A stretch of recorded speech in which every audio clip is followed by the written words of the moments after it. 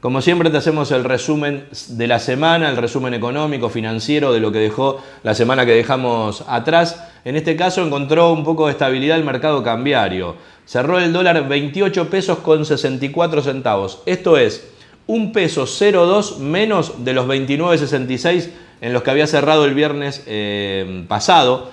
Y eh, también hubo una licitación de letes para canjear por Levac, determinados eh, artilugios que está haciendo el Banco Central para tratar de encontrar estabilidad en el mercado cambiario.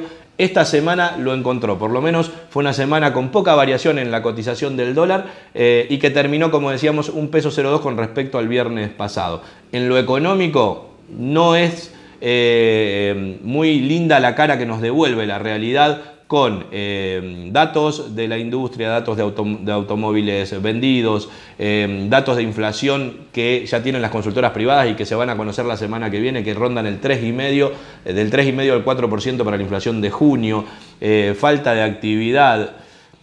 En definitiva, la economía argentina se debate por terminar de encontrar estabilidad cambiaria, pero de fondo le faltan soluciones para los problemas estructurales que tiene el país para que esa estabilidad cambiaria perdure en el tiempo. Por ahora solo tenemos una semana más calma que la anterior y muchas preguntas por responder.